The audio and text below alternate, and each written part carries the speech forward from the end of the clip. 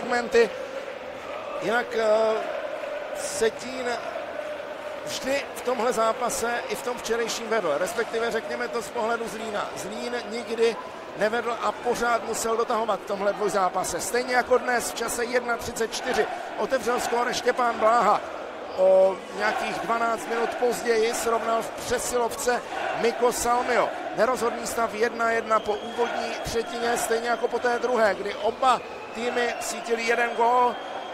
Do vedení 2-1 poslal setínské Jakub Teper krásnou přesilovkovou trefou po pobídce Pavla Kohůvka v čase 26.05 ovšem srovnal nikým nehlídaný Nikolas Verbík na 2-2.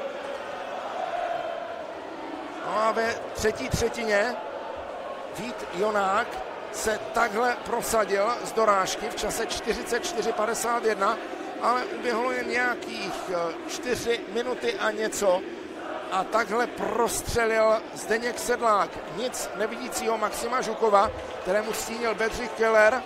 Vše se zdálo naprosto otevřené, taky bylo. A možná už někteří měli domění, žili v domění, že zápas se odebere do prodloužení, ale takhle neskutečně vybrusil palevnou pozici Patrick Zabusovs a z pozice útočníka hodně netradičně docouval k modré čáře a propálil všechno, co se objevilo před ním, hlavně Daniela Hufa a ostrým golfákem, tedy přidal Setínským třetí bod v téhle sérii.